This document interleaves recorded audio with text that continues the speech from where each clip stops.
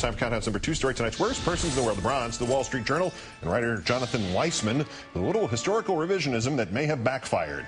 President Barack Obama's chief economist on Friday defended White House economic policies against criticism that they amounted to a kind of backdoor socialism, he wrote. While Mr. Summers' speech was billed as a prelude to next week's efforts on financial market regulation, most of it was devoted to defending the administration's aggressive economic policies. Those policies have seen the government take control of mortgage giants Fannie Mae and Freddie Mac and ensure American International Group, Inc.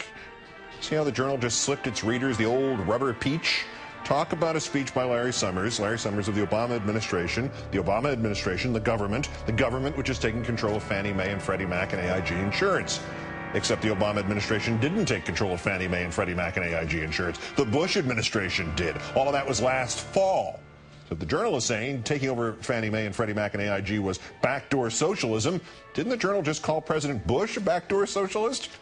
The silver to Jonah Goldberg of the National Review, defending the far right despite its enabling of such terrorists as Scott Roeder and James von Brunn, writing that perhaps the left is responsible for von Brunn because, quote, after all, for years, mainstream liberalism and other outposts of paranoid Bush hatred have portrayed neoconservatives, usually code for conservative Jews and other supporters of Israel, as an alien pernicious cabal.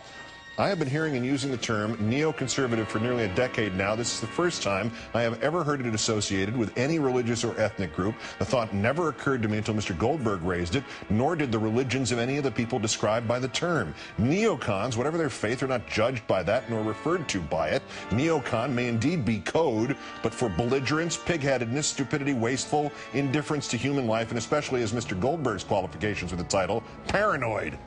And tonight's worst, the City Council of Brooksville, Florida. Over the objection of the mayor, the four council members have approved a dress and appearance policy for city employees. They now cannot display body piercings except in the ear. All cuts or wounds must be covered. Halter tops and spandex are no longer permitted. Skirts worn below the waistline to expose the abdomen or back are prohibited. And best of all, underwear must be worn. The mayor asks, how are we going to enforce that? Well, you can do what Woody Allen did, had his crazy dictator of San Marcos do in the movie Bananas. All citizens will be required to change their underwear every half hour. Underwear will now be worn on the outside, so we can check. The City Council of, uh, Council of Brooksville, Florida, also known as the Underwear Checkers, today's worst persons in the world.